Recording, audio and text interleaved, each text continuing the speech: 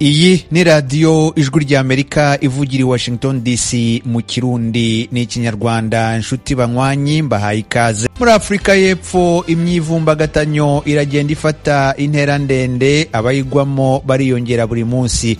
Kugeza ubu iyi myivumbagatanyo imaze guhitana abantu barenga mirongo irindwi abandi barenga igihumbi na magana abiri bamaze gutabwa muri yombi. Ariko ntibice intege abasahura n'abatwika.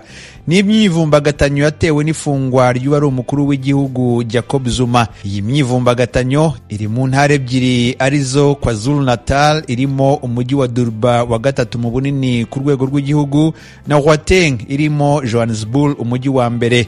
Ku murongo wa telefoni navuganye n'umunyarwanda Josh Kalisa utuye mu mujyi wa Johannesburg maze mubaza uko ibintu byifashe muri uwo mujyi. Hano muri johannesburg ni umujyi wibasiwe. Guhera ku cyumweru ni bwo twatangiye kubona ibikorwa by'ubusahuzi ibikorwa byatangiye bivugwa ko abarimo kwigaragambya cyangwa se abarimo gukora ibyo bikorwa babikora nk'uko babivuze kubera ifungwa ry'uwahoze ari umukuru w'igihugu. Jacob Zuma ariko byahereye mu yindi province ya KwaZulu Natal ho byagiye bigaragara mu duce dutandukanye ariko cyane cyane mu mujyi wa Durban. Ariko ubu hano naho haza kwibasirwa kuva ku cyumweru kugeza amagingo aya. Uduce twinshi cyane cyane udutuwe n'abirabura niko nabivuga ni ho twibasiwe aho bibasiye ibikorwa bagasahura nk'uko mwabigiye mubibona mu mashusho. Nk'uko wari ubivuze ibi bikorwa byatangiye mu ntara ya KwaZulu Natal ndetse bikomereza mu ntara ya Gauteng. Ariyo ntara uh, umujyi wa Johannesburg urimo. Umuntu yakwibaza ese mu zindi ntara usibye izo ebyiri ibi bikorwa byo ntago bihari? Urebye mu zindi ntara nta bikorwa twari twumva bisa gutyo. Byahabaye usibye n'ibyo n'abantu baho muri izo ntara zindi abantu bagiye bagaragaza ko badakeneye kandi badashyigikiye ibikorwa bisa gutyo bigenda bikangiza ibikorwa remezo. Ni ukuvuga na hano muri johannesburg ni ho hantu hibasiwe mu ntara ya gauteng cyane ariko wavuga uti umujyi nka pretoria. Naho barirwa muri ntabwo ibikorwa ntabwo bisa nk'aho byagiye muri ubu muri ubu mujyi cyane nubwo hari ahantu hamwe na hamwe byagaragaraga ko byashoboka ariko ntabwo byabaye cyane. Nubwo hari hamwe mu duce kandi natwo dutuwe n'abirabura ni ho hagiye hagaragara ibyo bikorwa by'ubusahuzi. Ariko mu zindi ntara ntabwo bihari kandi n'abantu batuye muri izo ntara bashyizeho umugambi wo kuvuga ngo turarinda ibikorwa byacu ntihagire umuntu uduteza imvururu. Kuri wowe kuba ibi bikorwa bigaragara muri izo ntara umuntu yavuga ko uh, zituwemo cyane n'abirabura ubona impamvu ari iyihe yatumye ibi bikorwa bisa nk'aho noneho byabaye urugomo uh, byibasira iyi mijyi cyane cyane iri muri izi ntara za KwaZulu Natal ndetse na Gauteng. Nk'uko na perezida Cyril Ramaphosa yabivuzeho ibi ni ibintu bifite ishusho irimo ikintu cy'amoko. Muri KwaZulu Natal ubundi ni ahantu hatuwe nyine n'abantu bo muri KwaZulu Natal ni abajuru benshi. Ni ukuvuga ko iki gikorwa cyatangiye atari ukuvuga gusa ngo ni uko bashyigikiye gusa uwari umukuru w'igihugu babijyanye mu buryo bugaragaza ubwoko. Ntabwo wafatwa ku muntu umwe w'umuzuru tuzaza natwe tumurwanirire. Niko byatangiye. Niho ishusho ritangira. Ryaza no muri hawuteri rikibasira cyane cyane umujyi wa johannesburg ni uko hariho abimukira bava muri iyo ntara bimukiye muri uyu mujyi nabo bafiteho ubwinshi n'uduce batuyemo twinshi nitwo twatangiye kugaragaramo ibikorwa by'urugomo byo kotsa amapine gufunga imihanda gutera abantu amabuye kurasa. Ikindi kiyongeraho nk'uko wari umbajije ahantu hari abirabura benshi ni ikintu kibabaje cyane kubona ko ibikorwa remezo byatwitswe kandi ntabwo basahuye gusa. Bashingiye kuvuga ngo hari uwo bashima. Bashimye n'abantu n'abirabura bafite amaduka bafite ibikorwa remezo muri utwo duce. Mbese ni ibintu nk'uko nabivuze kare ni ibintu bishebeje. Ni ibintu bishebeje ni ibintu bidafite agaciro kandi twese twakwigiraho. Ariko ukabona ko bifite inkomoko yo kugira ako kantu k'ubwoko ko kuvuga ngo twakora ibi kubera ko hari umuntu wacu umwe wakozweho rero tugomba kwirevolta tugakora ibikorwa nk'ibyo. Hanyuma se kugeza kuri uyu munota nk'uko twabivuze kare abantu barenga mirongo irindwi bamaze kugwa muri ibi bikorwa by'imyivumbagatanyo ubu ngubu aho mu gihugu umwuka wifashe gute? N'iki leta irimo gukora kugira ngo ihoshye izo mvururu? Ku wa mbere perezida shyira amakosa yabigejeho agaragaza ko bemeje abasirikare ibihumbi bibiri magana atanu koherezwa gufasha polisi mu duce twibasiwe. Ariko cyane cyane n'ejo habayeho inama ikomeye y'abaminisitiri bashinzwe ibintu bya sekirite bagaragaje ko hari ibikorwa byinshi byari byibasiwe mu by'ukuri ntabwo twavuga ngo ibintu byaje gitumo. Hari abantu babiri inyuma bashobora kuba bari bafite n'inzego zikora muri leta babiteguye ariko badashyigikiye leta iriho. Cyangwa se banayikozemo cyangwa abandi bakikoramo. Umbajije mu kanya gato mvuye muri ina city ya johannesburg nubwo ntuye kure gato na yo ariko naciyemo nubwo umujyi ucecetse nubwo nta muvuma nubwo ibintu byose bifunze ariko kameme n'imihanda yari yafunzwe yari no go zone ubu yafunguwe imodoka ziragenda bizinesi zirimo gusubiraho. Gusa haracyari ikibazo. Iyo tuvuze muri kwa zonatari haracyari ibikorwa byinshi byibasiye. By'urugomo baracyatwika bavuye mu alimantasiyo batangiye kujya mu nganda. Josh Kalisa umunyarwanda utuye mu mujyi wa Johannesburg mu gihugu cya Afurika y'Epfo nagira ngo ngushimire cyane kubw'akanyu uhaye ijwi ry'Amerika kugira ngo tugezeho uko ibintu byifashe muri icyo gihugu ndagushimiye cyane. Murakoze ibyemezo by'inama y'abaminisitiri yateranye kuri uyu wa gatatu ariko noneho nibande ku bijyanye n'icyorezo cya covid cumi n'icyenda. Ku wa gatatu tariki ya cumi na kane nyakanga bibiri na makumyabiri na rimwe inama y'abaminisitiri yateranye hifashishijwe ikoranabuhanga iyobowe na nyakubahwa perezida wa repubulika y'u rwanda paul kagame hashyizweho minisiteri y'ubumwe bw'abanyarwanda n'inshingano mboneragihugu minisitiri of national unity and civic engagement iyi minisiteri nshya izibanda ku kwimakaza ubumwe bw'abanyarwanda kubungabunga umurage w'amata iteka no gutoza uburere mboneragihugu inama ya minisitiri ikaba yemeje imyanzuro y'inama ya minisitiri yateranye kwa makumyabiri na rimwe kamena ibihumbi na makumyabiri na rimwe.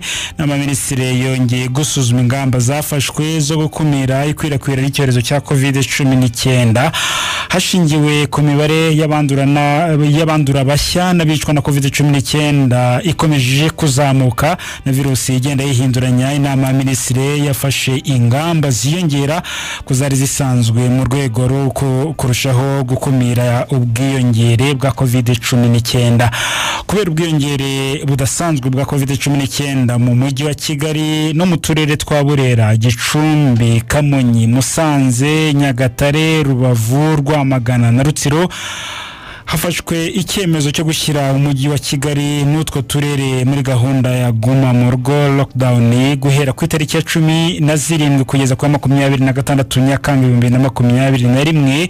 Abanyarwanda bose bakaba basabwa kugabanya ku buryo bushoboka impamvu zituma bahura bagakora ingendo mu gihe bikenewe gusa. Ingamba zikurikira zigomba gushyirwa mu bikorwa mu mujyi wa kigali no mu turere twa burera gicumbi kamonyi musanze musanze nyagatare rubavu rwamagana na rutsiro. Kuva mu ngo no gusurana birabujijwe keretse ku mpamvu z'ingenzi nk'izerekeye ubuzima guhaha ibiribwa kujya kuri banki n'abakozi bagiye gutanga izo serivisi ibikorwa bya siporo ikorewe hanze n'imyidagaduro birabujijwe. Ingendo mu modoka zitwara abantu mu buryo bwa rusange zirabujijwe. Icyakora imodoka zitwara abakozi bajya mu bikorwa byemerewe gukomeza zizakomeza gukora.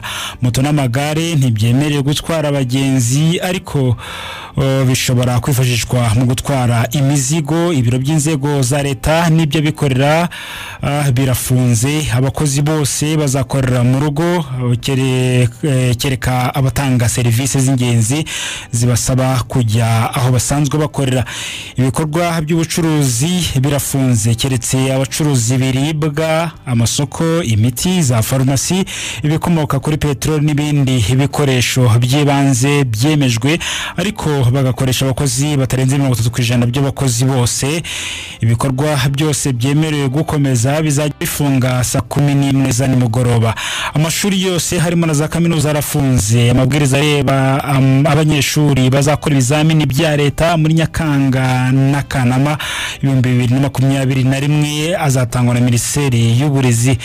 Abagenzi bose binjira mu gihugu bakoresheje ikibuga mpuzamahanga cya kigali bagomba kuba bafite icyemezo cy'uko bipimishije covid cumi n'icyenda cyateze amasaha mirongo irindwi n'abiri mbere y'uko bahaguruka kandi bakubahiriza amabwiriza y'inzego z'ubuzima yo kwirinda covid cumi n'icyenda. Ibikorwa by'ubukerarugendo bizakomeza kubahirizwa amabwiriza yo kwirinda covid cumi n'icyenda. Muri ibyo bikorwa harimo amahoteli abashinzwe kuyobora ba mukerarugendo na serivisi zo gutwara ba mukerarugendo. Ibikorwa by'ubuhinzi n'ubworozi bizakomeza hubahirizwa ingamba zo kwirinda covid cumi n'icyenda. Pisine na sipase zizakomeza gufunga. Cyakora abantu bacumbitse muri hoteli bemerewe gukora izo siporo muri hoteli bacumbitsemo ariko berekanye ko bipimishije covid cumi n'icyenda. Imihango yo gushyingura ntigomba kurenza abantu cumi na batanu. Ingamba zizubahirizwa hasigaye hose mu gihugu. Ingendo zirabujijwe guhera saa kumi n'ebyiri za nimugoroba kugeza saa kumi za mu gitondo. Ibikorwa byose byemerewe gukomeza bizajya bifunga saa kumi n'imwe za nimugoroba. Ingendo hagati y'uturere zirabujijwe kereka ku mpamvu za serivisi z'ubuzima n'izindi serivisi z'ingenzi. Icyakora imodoka zitwaye ibicuruzwa zemerewe kugenda mu turere twose ariko ntizitwara abantu barenze babiri. Inama zikorwa imbonankubone physical meetings zemerewe gukomeza. Umubare w'abitabira inama ntugomba kurenga mirongo itatu ku ijana by'ubushobozi. Bwo kwakira abantu bw'aho bateranira bitabiriye inama bagomba kugaragaza ko bipimishije covid cumi n'icyenda amateraniro rusange harimo ubusabane n'ibirori bitandukanye byaba ibibera mu ngo n'ahandi hose. Birabujijwe imihango y'ubukwe yose. Harimo gusaba no gukwa ishyingirwa rikorewe imbere y'ubuyobozi bwa leta n'irikorewe mu nsengero birasubitswe. Ibikorwa by'inzego za leta bizakomeza ariko buri rwego rurasabwa gukoresha abakozi b'ingenzi batarenze cumi na gatanu ku ijana by'abakozi bose abandi bakozi bagakorera mu rugo ariko bakagenda basimburana. Ibikorwa by'inzego z'abikorera bizakomeza ariko buri rwego rurasabwa gukoresha abakozi b'ingenzi batarenze mirongo itanu ku ijana by'abakozi bose abandi bagakorera mu rugo. Amasoko n'amaduka azakomeza gukora ariko hajya hasimburana umubare utarenze mirongo itanu ku ijana w'abacuruzi bemerewe kuyakoreramo. Resitora na kafe zizakomeza gukora ariko ntizirenze mirongo itatu ku ijana y'ubushobozi bwazo bwo kwakira abantu. Zemerewe kwakira abakiriya kugeza saa kumi n'imwe za nimugoroba. Insengero zahawe uburenganzira bwo gukora kuko zujuje ibisabwa mu kwirinda covid cumi n'icyenda zizakomeza kwakira abantu ku kigero kitarenze mirongo itatu ku ijana by'ubushobozi bwazo. Utubari twose tuzakomeza gufunga. Umubare w'abitabira ikiriyo ntugomba kurenza abantu icumi icyarimwe. Imihango yo gushyingura ntigomba kurenza abantu cumi na batanu. Ibikorwa by'imikino y'amahirwe birabujijwe.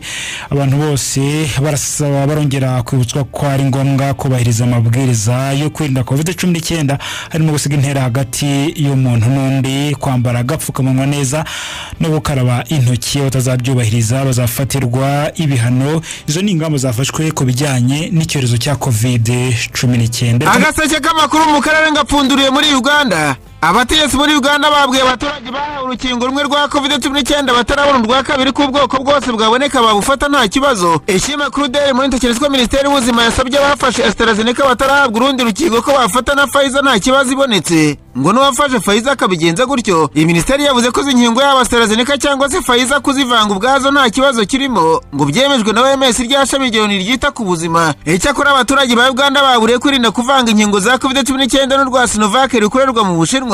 Cyane ko rwa Johnson and Johnson rwo umuntu ngo bamutera rimwe gusa. Ni ukuvuga doze imwe. Emmanuel Ayinebyo uvugira minisiteri y'ubuzima aherutse kubwira itangazamakuru rya Uganda. Ko iki gihugu ku kwezi kwa karindwi kizahabwa inkingo za Pfizer zirenga gato ibihumbi magana atandatu. Uganda ibaye igihugu cya mbere muri aka karere gitangarije abaturage bacyo ku mugaragaro. Kuvangavanga izo nkingo za covid cumi n'icyenda hagati aho umunyapolitiki utavuga n'ubutegetsi muri Uganda Dr. Kiza Besigye yatabaje amahanga ngo agire icyo akora abaganda miliyoni makumyabiri n'umwe bakingirwe covid cumi n'icyenda ngo ubutegetsi buriho bwarananiwe kubakingiza. Bwana besigye wahataniye gutegeka uganda kane kose atsindwa yavuze ko ubutegetsi bwa jenerali museveni ntacyo bwakoze ngo butabare abaturage asanga n'inkingo yanga zabonetse harabayemo ubusumbane mu kuzitanga. Kuri we ngo hakeneye ko abantu bafite ibyago byo kwandura kurusha abandi bakingirwa mbere. Barimo abarimu ndetse n'abaganga yewe ngo byanatuma amashuri afungura imiryango ubukungu bwakubise inda hasi bukongera bukabyuka. Kiza besigye arashinja museveni kuba ntacyo akora ngo ashakishe urukingo ahubwo agategereza urukingo rw'imfashanyo. Kandi ngo ruratangwa mu kajagari harimo n'amananiza menshi ku buryo umuntu atarwiringira. Besigye asoza atanga inama ko igihugu gikwiye kumva. Inama zitangwa n'abatavuga rumwe n'ubutegetsi. Nararanganije amaso ibinyamakuru byandikirwa mu burundi abanyamakuru bashyize amakaramu ku mpapuro barandika. Banditse ko bamwe mu barundi bahungutse mbere gato y'impera za makumyabiri makumyabiri babaga mu nkambi ya mutenderi muri tanzania. Kuri ubu bari gusubira mu buhunzi. Baravuga ko ubuzima mu gihugu cy'amavuko bugoye kandi bakorerwa ihohoterwa n'abaturanyi babo. Urubuga sos media rwanda koko nubwo nta mibare nyakuri ihari igaragaza bahunze uko bangana uwagihaye amakuru muri tanzania yavuze ko barirwa mu gihumbi bamaze gusubira mu buhungiro. Ndetse mu mpera z'icyumweru gishize ngo abantu barenga ijana bakiriwe mu nkambi iki kinyamakuru cyandika ko batanga ubuhamya bavuga ko basuzugurwa na bagenzi babo kandi bagasanga barasigaye inyuma ubukene bunuma ngo ntibabashe kwihangana bagasubira bagahunga.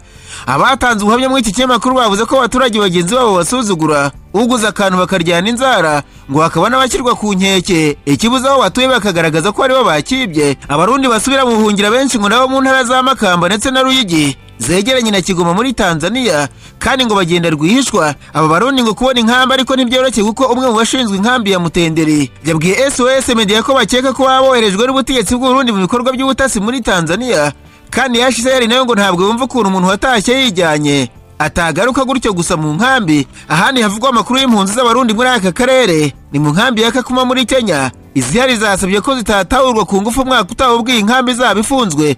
Hagati aho ariko ishyaka ritavuga rumwe n'ubutegetsi burundi seneri ryamaganye ibikorwa byo gushimuta abambari baryo. Ngo birakorwa n'inzego z'ubutegetsi ndetse hari amakuru avuga ko ngo mirakiza eliya wayoboraga ishyaka seneri muri komine mutimbuzi. Wafashwe n'abantu batazi gutariki icyenda ukwezi yaba yarishwe. Bamwe mu bambari ba seneri bamaze iminsi bakekwa kuba ibyitso mu bitero byagabwe ku baturage mu ntara ya murambya. Bigahita nabo barirwa muri mirongo. Nasimbukiye muri kenya abanyamakuru ya mudasobwa barandika. Baritswe igipolisi mu mujyi wa nairobi cyataye muri yombi abanyeshuri batatu bari bayoboye imyigaragambyo muri kaminuza ya nairobi. Abanyeshuri barigaragambye kubera ko university of nairobi yazamuye amafaranga y'ishuri hafi kuyakuba kabiri. Barasaba ko aya mafaranga agabanwa n'abakene bakabasha kwiga muri kaminuza. Ikinyamakuru daily nation cyanditswe uhagarariye abanyeshuri muri iyi kaminuza yasabye abanyeshuri bagenzi bo guhagarika imyigaragambyo. Bakabanza bagategereza ikiza kuva mu biganiro hagati y'ubuyobozi bwa kaminuza n'abanyeshuri. Iyo kaminuza yongeje amafaranga make amakuru ayiturukamo. Aragaragaza ko yongereho ku kigero cya mirongo irindwi ku ijana. Aho yongereye menshi yongereho ijana na cumi n'umunani ku ijana. Uyu murengero w'amafaranga ngo uratangira kwishyurwa n'abatangira ishuri uyu mwaka bushyashya. University of nairobi ngo yazamuye amafaranga kubera ibihombo yagize mu gihe cy'umwaka umwe. Birenga miliyari y'amashiringi. Agaseke k'amakuru mu karere gapfundikire muri kongo kinshasa abanyamakuru bakoresheje ba muri no barandika. Barazwi ishyaka parite engagement pour la citoyenneté et le développement rya marite fayulu wita perezida watowe n'abaturage mu matora yabaye bibiri na cumi n'umunani? Ryiyunze ku bashaka ko repubulika ya demokarasi ya kongo igira demokarasi. Ikinyamakuru politiko cyanditswe marite fayulu n'ishyaka rye biyunze ku ihuriro rivuga ko riharanira impinduka rizwi nka rite pour le changement cyangwa se rica mu mpine z'igifaransa mu bashaka ko itegeko nshinga rya kongo ryubahirizwa uko riri. Icyo kinyamakuru cyavuze ko icyo bashyize imbere cyane ari ugusaba ubutegetsi bwo kubahiriza ingingabihe y'amatora mu kwezi kwa cumi n'abiri umwaka wa bibiri na makumyabiri na gatatu bitaba ibyo igihugu kikaba cyabamo akavuyo. Iri huriro hamwe na fayulu bavuze ko bazarwana kugera ku mwaka wa nyuma baharanira ko komisiyo y'amatora n'ubutabera bitagumya kuba ibikoresho bya politike bikoreshwa mu kwigizayo ubutegetsi budashaka.